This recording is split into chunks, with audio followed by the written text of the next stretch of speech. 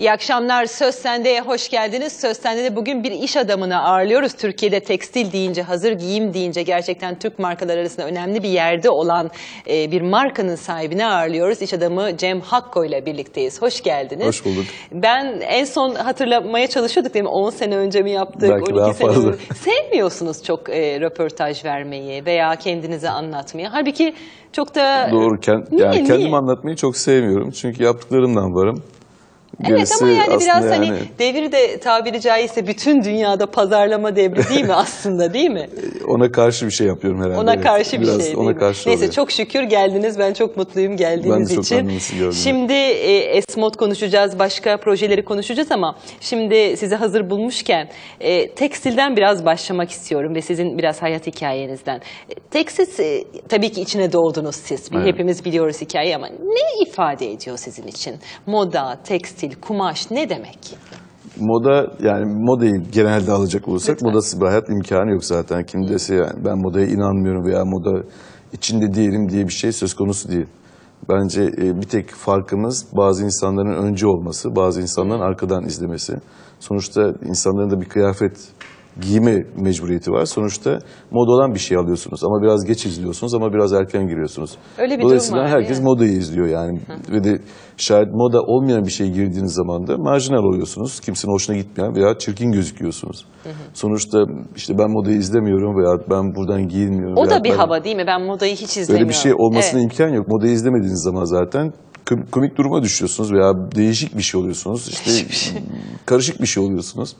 Ee, dolayısıyla herkes modayı izliyor. Bir tek zamanlama bakımından bir şaşırtıcı bir durum var.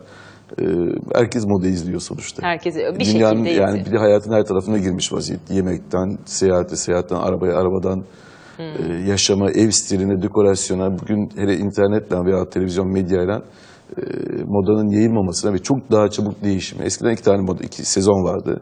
Yaz, kış ve işte Evet, doğrudan evet, o çok evet. basitti. Şimdi öyle bir şey de kalmadı. Bir anda bir küçük bir şey oluyor, bir film çıkıyor. Bütün moda değişiyor, bütün stoklar değişiyor, bütün repeteler değişiyor, bütün mallar değişiyor. Tabii değil mi? Yani hani bir klip çıkıyor, bir şarkı çıkıyor, bir trend, hani bir bir şey oluyor. Ee, sizin de işiniz zorlaştı aslında. Zorlaştı, çabuklaştı, e, enteresanlaştı. Enteresanlaştı derken. Evet, e, çok çabuk gelişmeye başladı. Bir kere e, akşamdan sabaha değişme şekilleri Hmm. çıktı. Eskiden 18 ay evvel karar verilirdi. Şimdi böyle bir şey mevzu bahis değil yani. yapacakları, Tabii ki değil mi? Renkler Evet. çıkardı, renklerden sonra kumaşlar çıkardı, kumaştan sonra efendim fonksiyonel, estetik kısımlar birbirine girerdi. Böyle bir şey yok artık. E, Ne oluyor mesela? Yani siz mesela bir yurt dışına bir yere gittiğinizde bir şey görüyorsunuz, keşfediyorsunuz. Anlık değişimlerde yaşanabilir. Yani sadece siz değil mesela. E, Eskiden defile yapanlar, ya tabii ki anlık değişimler de görüyorsunuz, etkilenmeleri de görüyorsunuz. Bir de eskiden defileler vardı. Bütün o koleksiyonlar yaklaşık 30 dakika, 25 dakika, 20 dakikalık koleksiyonlar içinde büyük bir imtihan geçerdi. Önemli dizaynerlar. Şimdi hem içeride bir savaş var hem dışarıda bir savaş var. Yani o koleksiyonlara katılan insanlar da başka bir defile yaratıyorlar. Yani yalnız defilenin içindeki savaş değil bir de dışarıdaki insanları izlemek lazım. Onlar ne giyiniyorlar, sokakta ne var?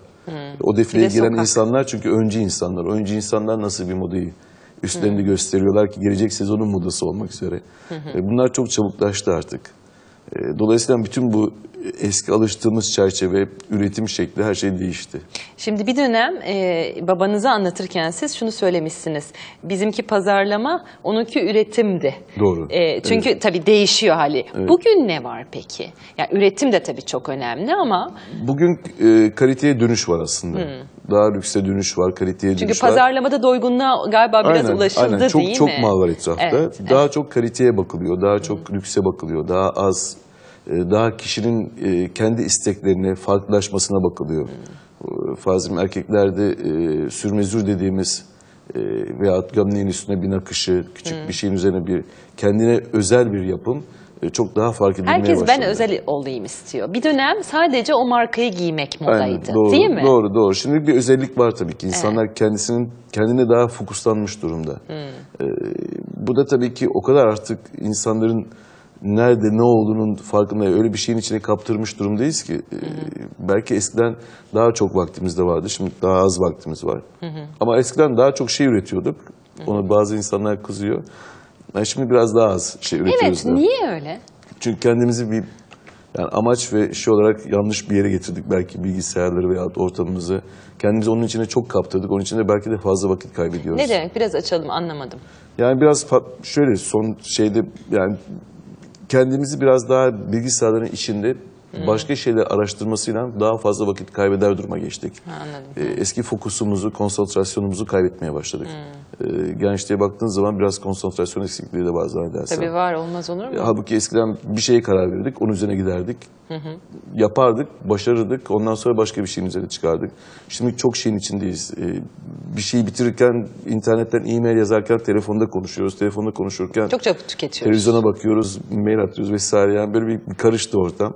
Biraz daha kendimize dönüp e, fokuslanmamız Gerçi lazım. sizin kişisel olarak e, karakterinize çok e, yabancı veya e, uzak değil bu ortam değil mi? Siz Ama adrenalin bağımlısısınızdır. Evet değil mi? ama öyle Hani- bir şey olmuyor. Bazen Evet. işte e, karşınızdaki o verimi bulamıyorsunuz Ha. ve e, her şey yazı üzerinde kalmaya başlayınca Ha, projeler Ee, üzerinde kalıyor. hem projeler üzerinde kalıyor hem de herkes artık o göz iletişimi, ağız iletişimi, konuşma şeyi bittiği için e, herkes birbirine mail ortamında da cevap verdiği için e, işin e, heyecanı, adrenalini kaçmaya başladı. Siz mesela e, daha kü- küçük çocukken her gece dükkanlara uğranır. Tabii. Değil mi? Biraz Tabii, anlatır tabii. mısınız mesela hani tam hani kaçan şey Aynen bu aslında belki de değil mi? Yani eskiden evet malı da kendi arabamızdan bazen taşıdık. Geç kalmayalım diye mağazaya malı getirirken. Evet.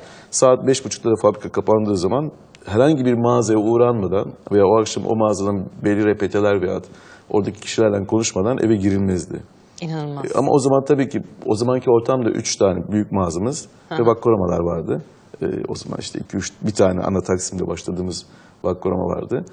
Ee, ve her akşam geçerdik. Bize büyük keyif verirdi. Bir de dinamiz verirdi. Çünkü fabrikada yapmış olduğunuz, üretimde yapmış olduğunuz işten pazarlamada yapmış olduğunuz, yani mağazada yapmış olduğunuz iş çok değişik olduğu için sanki Tabii. güne yeniden başlıyor gibiydik. O büyük keyif verirdi. Şimdi tabii yani Mümkün değil. 150'lere çıkınca tabii ki İşte evet, ee, hem onu kaybediyorsunuz birlikte hem de şey- tabii ki teknoloji de girdiği zaman içeri işte resimleri yollar, resimlerden göreyim, vitrin nasıl yapılmış hepsinden geçemiyorsunuz. Bazen mağaza açılışını bile atlamış olduğunuz oluyor ki Ciddi misiniz? korkunç. Vay, Yani inanılmaz. gidemediğiniz bir mağaza oluyor bazı başka şeyler yüzünden. Korkunç bir durum yani. Ara sıra zaman. böyle hiç kimseye haber vermeden denetlediğiniz oluyor mu? Ben öyle zannediyorum ama galiba böyle Haberli oluyor. Haberleri oluyor. Onlar da O da iyi sanki şey haberleri aslında. yokmuş gibi O da davranıyor. çok güzel bir şey. Tabii ki hiç olmasa daha bir Peki. emek vermiş oluyorlar o gün. Peki siz işte o küçük yaşta dolaşırken o e, mağazaları ve eve giderken yani hayatınızın bu olacağını düşünüyor muydunuz yoksa başka hayalleriniz var mıydı o zaman? Ya da hiç başka hayal kurmadınız çünkü buydu mu dediniz? Ya bizim jenerasyon çok e, şey aslında bir jenerasyon yetişti. Çok keyifli yetişti. Çünkü ben küçükken işte siyah beyaz haftada bir kere televizyonumuz vardı. Bugün e, bu duruma bakın yani. Öyle bir jenerasyon ki gelecek jenerasyon bu kadar şey görecek mi bilmiyorum. Evet doğru E, söylüyorsunuz. ilerleme görecek mi? Onun için biz çok şanslı bir jenerasyonuz. Hepsini görme şansımız gördü. Allah'tan bir tek bizim jenerasyonumuz savaşı görmedi. E, dolayısıyla çok şanslı bir jenerasyonuz. Ve de bu tip bu firmaları buradan daha büyütme şansımız olan bir jenerasyonuz. Dolayısıyla zaten siz biliyordunuz bu işin içinde olacağınızı küçük yaştan itibaren. E, tabii ki o ortamda yetiştiğiniz zaman, Vitali Hakkı'nın oğlu olduğunuz zaman e, sonuçta e, hayat bu şekilde gelişeceğini hissediyorsunuz. E, ama o zaman bile çok büyük bir mesuliyetin altına girdiğinizi de biliyordunuz. E, Bir de bugün- zordur hakikaten. Şimdi bir kurulmuş bir şeyin sonrası başına geçmek e, daha zordur değil mi? Yani ben daha zor olduğunu düşünüyorum. Doğru. Çünkü olanı sürdürebilmek. Beklentiler değil mi? çok. Beklentiler de inanılmaz. O yük biner omuzlara. Onunla başı nasıl çok iyi başa çıktınız. Hatta bence çok ileriye Sağ götürdünüz kesin zaten bu ama nasıl başa çıktınız onunla? Çünkü aile şirketleri de zor şirketlerdir galiba değil mi? Aile şirketleri tabii ki zor. Ee, başa çıktım mı diye bir şey değil. Ee, bütün ekibinizden. Yani eskiden belki daha böyle one man show vardı ama şimdi ekip olayı var. Öyle değil mi? Ee, Evet. Ekip çok daha e, beraber çalışıyorsunuz.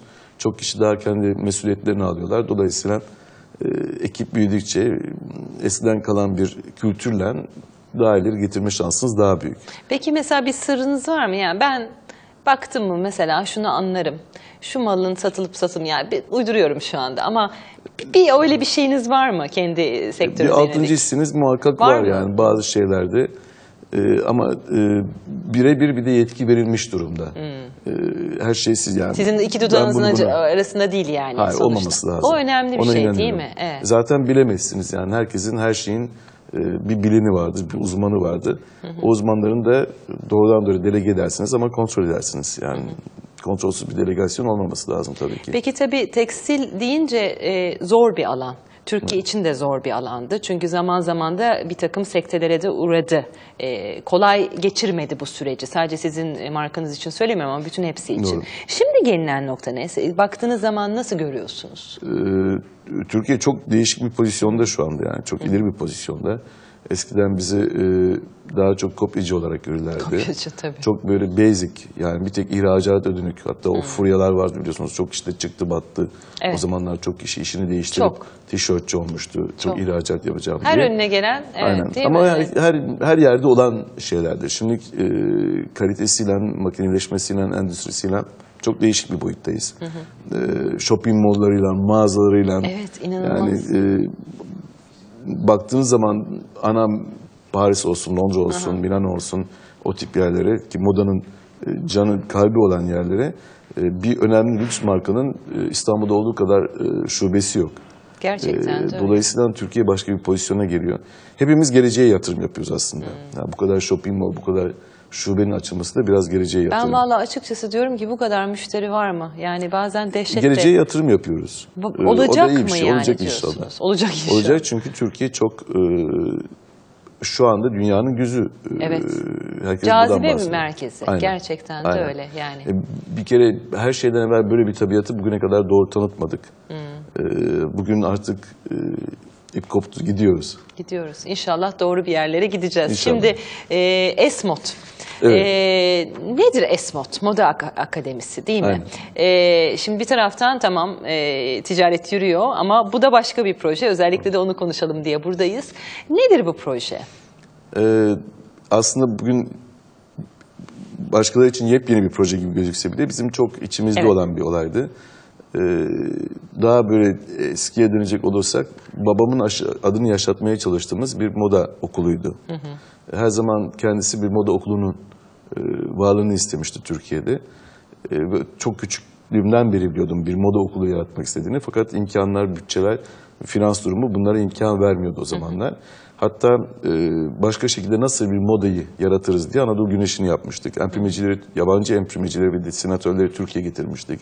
Kitaplarımızdan faydalandırmıştık. Fakat bir türlü Türkiye'den ancak Rıfat Özbek e, bunun biraz başarısını verdi. O dönemde özellikle. O dönemler hatta yani çok eskiye dönecek evet, olursa. Evet, evet. Bir o vardı Aynen. zaten. Evet. Ondan sonra bu moda okulunu artık babamın son zamanlarında e, bazı üniversitelerle yapma şansı var mı yok mu diye baktık. Fakat e, kontrolün bizim elimizden kaçacağı bir durumdu. Yani üniversiteye verdiğin zaman ondan sonra üniversitenin ötesinde bir yaptırım olacaktı okulun gidişi ve kısmı. Dolayısıyla e, biz o zamanlar Vitel Çekingen davrandınız. çekingen davrandı. Çünkü benim jenerasyondan sonraki gelecek jenerasyonlarda bu okulda aynı şekilde yürütülme şansları var mıydı yok muydu? Onu tam bilmiyorduk. Ee, dolayısıyla o zamanlar kütüphaneyi kurduk. İsmin kalması, ismin yaşaması için sonuçta kütüphane bir yerden bir adresten bir adrese gidebilir. Ee, çünkü fiziki olarak kütüphane İtalya duruyor. Hakko Kütüphanesi Kreatif mi? Endüstriler Kütüphanesi Kreatif olarak. an- Yalnız e, sanat evet. üzerine işte mimariden fotoğrafçılığa, dekorasyondan e, modaya her şeyin bulunduğu. Kaç kitap var? Şu anda 17 bin üzerindeyiz.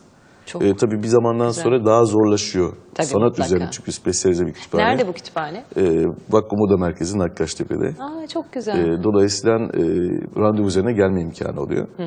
Ee, Herkes gelebiliyor mu? herkes gelebilir ancak randevu üzerine Hmm. e, daha keyifli bir hizmet verebilmesi için.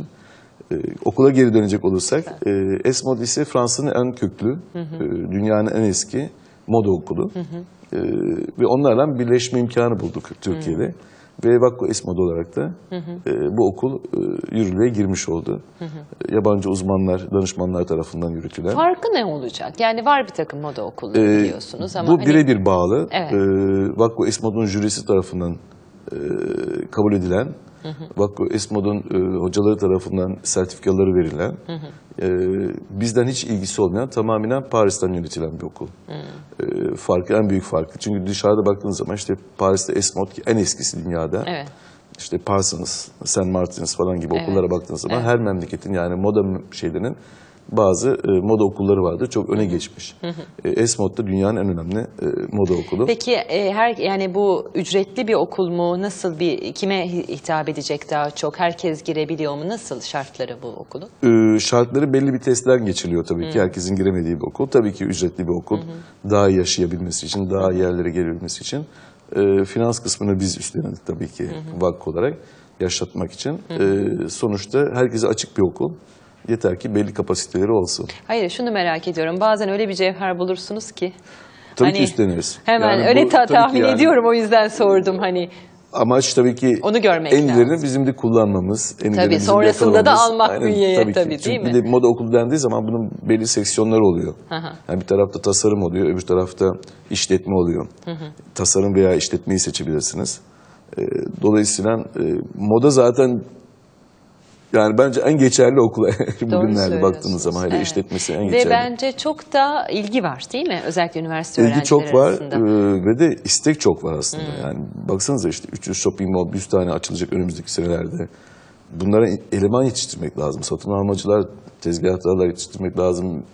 E, Vitrinci yetiştirmek lazım, etalajist yetiştirmek Herkes lazım. tasarımcı olacak diye bir şey Tabii yok ki, zaten. çok Yani büyük bir sektörden var. bahsediyoruz. İşte orada tıkanıyoruz Aynen. aslında. Çok yanlış bir nokta. Sanki Bu moda bir değil, sektöre sektörü deyince... insan yetişmesi lazım. Doğru, doğru. Ee, Hı hı. ve de Türkiye'nin buna ihtiyacı var sonuçta. Ve yetişmiş insanımız da çok yok herhalde bu sektörde bu bahsettiğiniz e, anlamda değil mi? O kadar çok yer açılıyor ki şeyden daha fazla yani şu anda çok ihtiyaç var cidden. Ee, iyi elemana, iyi kişiye, eğitilmiş insanlara, bilgisi olan insanlara, e, modadan anlayan insanlara, aynı dili konuştuğunuz Çünkü insanlara. gerçekten hani tezgahtar dedik ama o kadar önemlidir ki değil mi? Onun ne dilde konuştuğu, neyi anladığı. Aynen aslında tezgahtar? Türkçe'ye girdiği zaman Hı. çok e, hafif bir e, Beğenmediler değil mi? danışman olması lazım Ha, aslında. danışman. Satış danışmanı olması lazım. Evet. Bilgisi olması lazım. Evet. Bunun Sekreteri de değiştirmiştik, asistan demiştik. Şimdi Aynen. tezgahtarları da satış danışmanına çevirdik. aynen. Peki, Yani tamam. gelenin de misafir gibi kabullenmesi lazım. O eğitimin verilmesi lazım. O, orada gelen insanın kabahati değil eğitimsiz olması. Bizim kabahatimiz oluyor Doğru, eğitimsiz bir doğru. şey yapıyorsak. Peki Dolayısıyla- mesela siz bir e, mağazaya girdiğiniz zaman herhangi dünyanın bir yerinde e, o satış danışmanının anlar mısınız gözünden? Yani bir iki cümlesinden. Bence bir mağazanın her şeyidir. Her şey değil mi? Yani orada bazen bir, bir yemeğe gidiyorsunuz. Çok güzel bir yemek yemiyorsunuz ama büyük keyif alıyorsunuz. Tabii, Çünkü etraf güzel, size, oradaki evet. hizmet eden güzel, Evet. oradaki her şey güzel, gö- gözünüze güzel gözüküyor. Yani bir insanın mağazaya girdiği zaman bugün nasılsınız dedikleri zaman Amerika'da hoşunuza gitmiyor mu? Gidiyor anında. Mağazamıza girdiğiniz zaman size bir kahve sunulduğu zaman veya bir iç- içki verildiği zaman hoşunuza gitmiyor mu? Tabii ki gidiyor. İnsan kendine özel bir muamele bekliyor. Tabii Bu ki. çok Yoksa doğal. bir de gelseniz mağazaya hiç kimse size bakmıyor veyahut ilgilenmiyor veyahut istediğinizi gözünüzle anlamıyor. Bedeninizi soruyor. Evet. Bedeninizi sormak değil mi? Evet. bu Yani çok önemli bir o- detaydır. Halbuki biliyor olması aynen, lazım. aynen. Yani hani bu mudur değil midir diye sorması İşi bu. lazım mesela değil Baktığın mi? zaman işi bu. Ben bazı arkadaşlarıma söylüyorum. Bu Örnek çok Fransa'ya gittiğiniz zaman bir barın arkasında bardaki kişi bir kişi durur. Ee, müşteri girdiği zaman böyle bir sabahleyin gittiğiniz zaman birçok kişi kahve alır. İşte havadan konuşurlar. O ona laf Evet. atar. Öbürüne Evet. aynı zamanda bulaşıkları, bardakları yıkar. Evet. Aynı zamanda bahşişini alır, teşekkür eder. Aynen. Arkadaşına da başka bir laf atar. Yani bir kişi yedi kişiyle aynı anda uğraşır. Ee, bizde bazen bu insanın işine sevgisi aşkıdır. Ee, bu eğitimin en önemli kısımlarından bir tanesi ki bizim de Vakko'da vermeye çalıştığımız aslında iç bünyede senelerdir verdiğimiz eğitimi daha profesyonel bir şekilde okul tarafından verilecek. Tabii bu okulun başka bir şeyi de fabrikamız olması dolayısıyla stajları yapılması. Çok önemli Ee, çok bir iç içe şey bu. olması, Evet, tabii ki. Tabii. Çünkü yani birebir görecek, pratiğini direkt yaşayacak. kütüphanesi var, Evet. direkt e, lektrası var, kalıp makineleri var, ustaları var. Birebir yaşama şansı yani hem teorik hem pratik olarak bu dünyada aslında az bulunan bir, olmayan bir örnek. Evet. Peki kütüphaneyi konuşacağız biraz. Bu sistemi de konuşacağız ama kısa bir ara vereceğim izninizle. Aradan sonra Cem Hakkı ile sohbet devam edecek. Bizden ayrılmayın lütfen. Söz sende devam ediyor. Yoğun gündemin arasında biraz bir nefes aldıralım dedik. Tekstil konuşuyoruz, moda konuşuyoruz. İş adamı Cem Hakkı ile birlikteyiz. E, gündem bazen hakikaten e, nefes aldırmıyor ama iş dünyası da nefes alamıyor zaman zaman değil mi?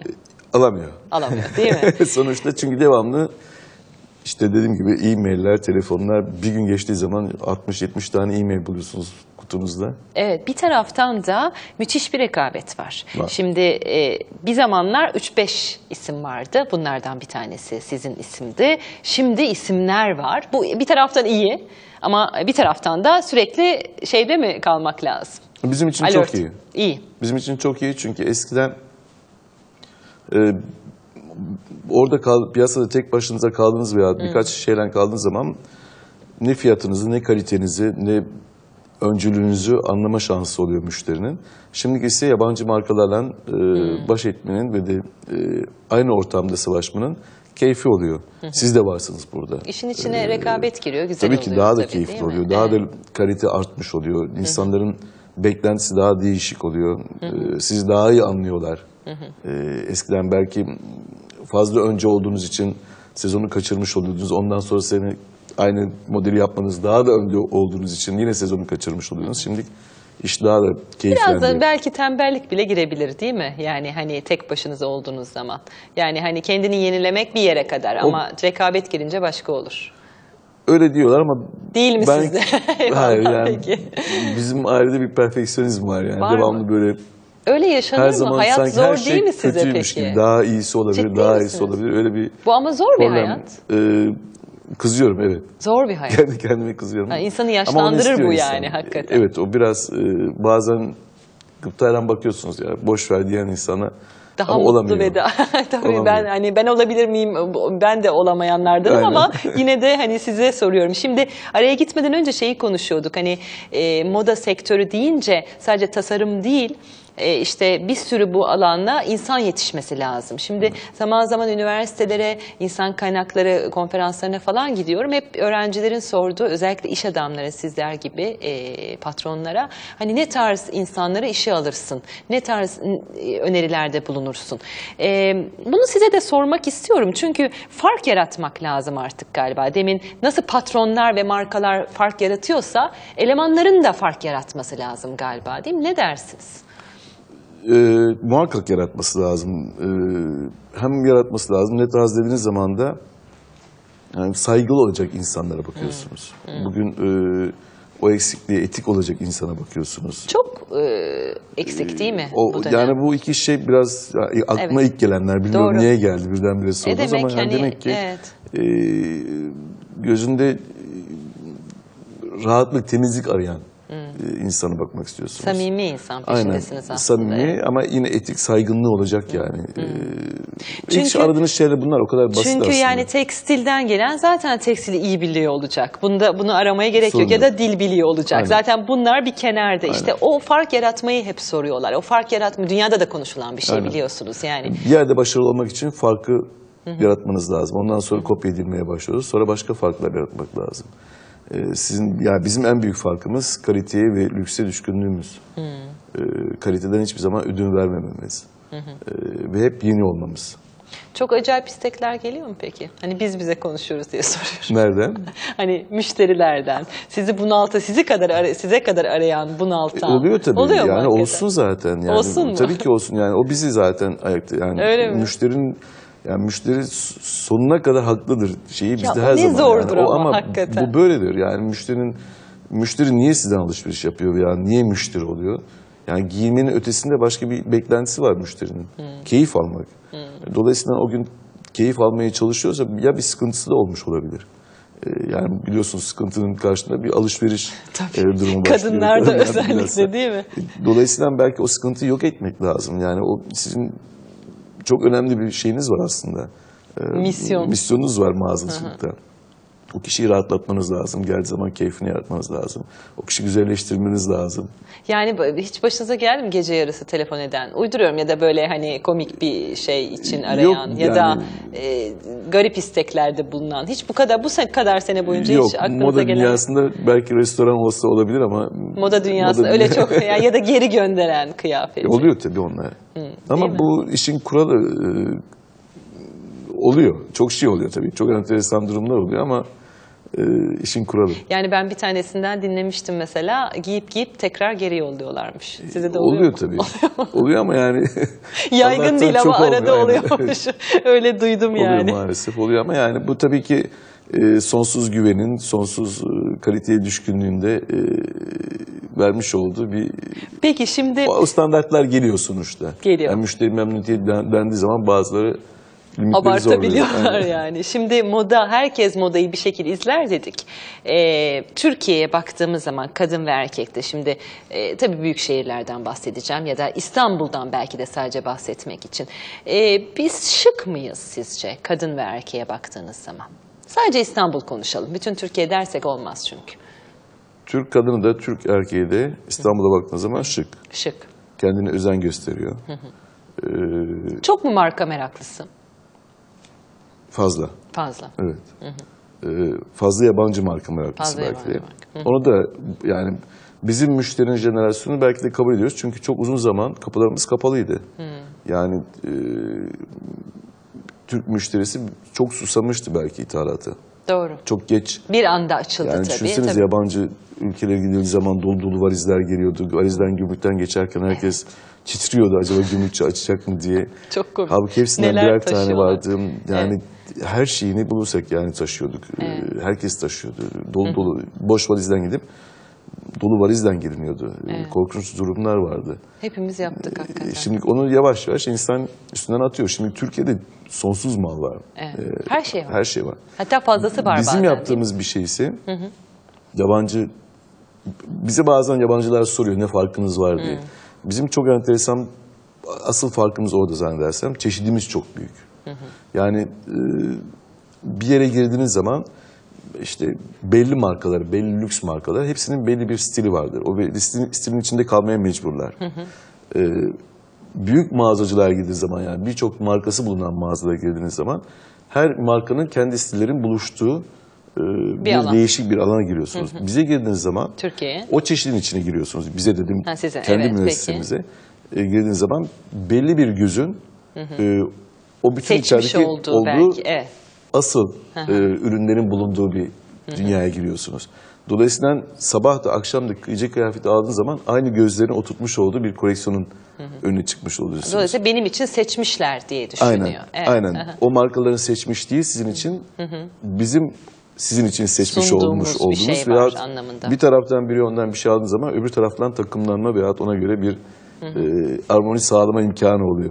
Ki bu e, diğer şekilde bu da bizim büyük farkımız ve büyük e, yoğunluğumuz yani üzerine çalıştığımız e, sistem. Dolayısıyla bundan kendi markamızı yabancılar karşısında saklamaya çalışıyoruz.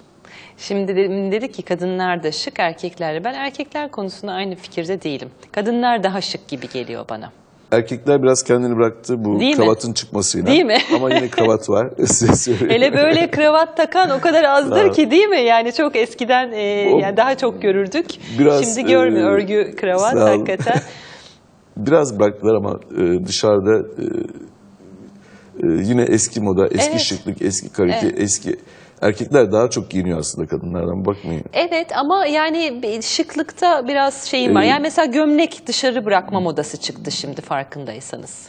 Yani- Türkiye'de. Değil mi? Evet, Türkiye'de ama bizim vermiş olduğumuz bir konu değil bu. Evet, yani, doğru, e, doğru. Bizim önerdiğimiz değil. Ya da kravat yok Ee, artık. aynen. Yani tişört üzerine ceket vesaire gibi değil mi? Yani olması iyi fazla Amerikanlaştık o Çok. kısımda. Çok. Ee, ama asıl moda şehirlerine gittiğimizde e, bu şekilde değil aslında. Ee, bizim de önerdiğimiz bu şekilde değil. Mesela biz şey deriz kadınlara, kadınların dolabında mutlaka bir siyah gece elbisesi bulunsun Doğru. mutlaka. Erkeklerin dolabında ne bulunması lazım? Mutlaka. Çok güzel bir kravat koleksiyonu bulması Kravat lazım. koleksiyonu. Olmazsa Başka? olmaz. Ee, Ya mutlaka yani bulunmalı diyeceğiniz ne vardır? yani muhakkak poşetinin olması lazım Poşetin bence. olması lazım. Ee, bugün giymedim fakat normalde düğmelerin Kol- olması kol lazım. düğmeleri, evet. Ee, gündüz olduğu için. Ee, beyaz gömleklerin muhakkak olması lazım. Çünkü gecedeki gündüzde taşınmayacağı bir şekilde değil. Bir erkeğin bakımlı olması lazım bir kadın gibi. Evet. Bakımsız olmaması lazım sonuçta.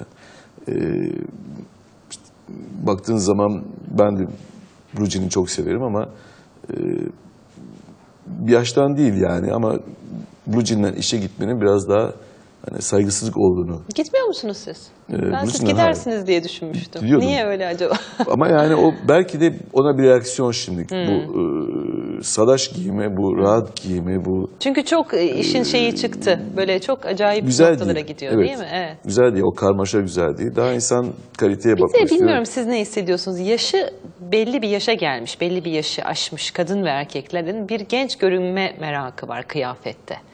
Ee, o beni mesela ben benim katlanamadığım bir nokta. O talaş- Taşıyabiliyorsa taşıyabiliyorsa tabii ama çoğunluğun taşıyamadığını zaten biliyoruz. O kötü durmuyor mu? Yani halbuki yaşına göre giyinmek başka bir Onu şey. ona satmamaları lazım. Evet değil mi?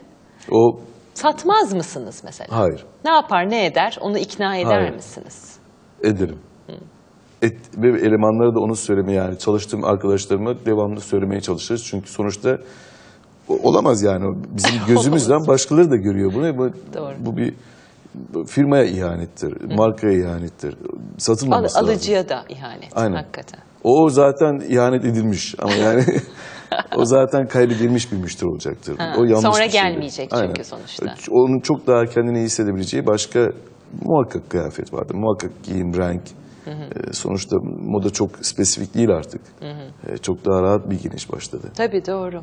Peki şimdi çok az vaktim kaldı. E, moda okulu, kütüphane 18 bin kitap dedik. Dile Evet. kolay hakikaten de e, randevuyla gelip e, e, yararlanabiliyorlar. Çünkü ben çok meraklısı olacağını biliyorum. Ben duymamıştım benim ayıbım ama duymayan çok vardır diye düşünüyorum. Peki ne var şimdi? Ne hayaliniz var mesela? Ne yapmayı düşünüyorsunuz geleceğe dair? İyice uçabiliriz de yani. Daha da büyümeyi, daha da... e, daha da büyümeyi mi yoksa daha butik mi kalmayı? Zaten büyümek derken butik şeklinde büyümek yani. anladım. Onu hiçbir zaman... Çünkü dünya çok daha küçük olmaya başladı. Evet değil mi? Çok daha özel demin bahsettiğiniz Ee, Dolayısıyla gibi. e, Vakko'yu daha başka boyutlara taşımayı. Çünkü yapacak çok işimiz var.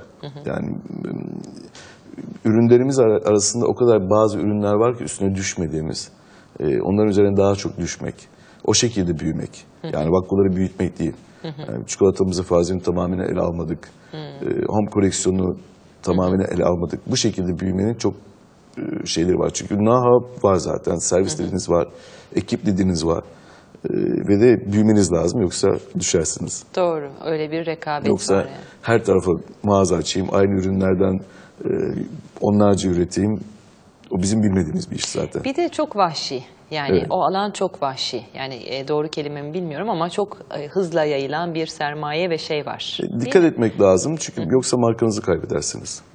Marka çok hassas bir şey. E, bu sene 75. yılımız. 75. 75 yıl boyunca da bir markayı yaşatmak e, çok üstüne böyle bir bebek büyümemiş bir bebek gibi titremeniz Peki son soru. Aldığınız 75 yıllık bir marka. e, öyle düşünmedim ama omuza yüktür dedim ben. Ama çok güzel yürütülen bir marka. Sağ olun. Aldığınız en büyük risk ne oldu?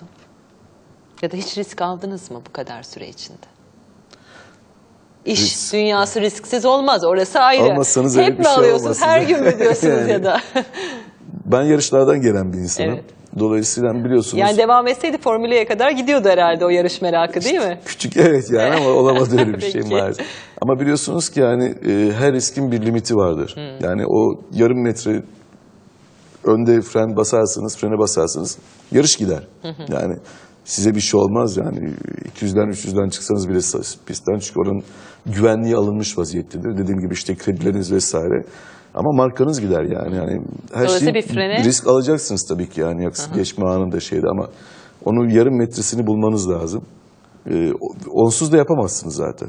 Dolayısıyla hep alınıyor o riskler. Hep alınıyor, hep de ekip oldukça alınıyor. Cem Bey çok teşekkür ediyorum geldiğiniz için. teşekkürler. Ee, bugün iş adamı Cem Hakko ile birlikteydik. Biraz tekstil yolculuğunu anlattı, moda okulunu anlattı, kütüphaneye uzandık. Yarın akşam aynı saatte 18.10'da biz yine bu ekranda olacağız. İyi akşamlar.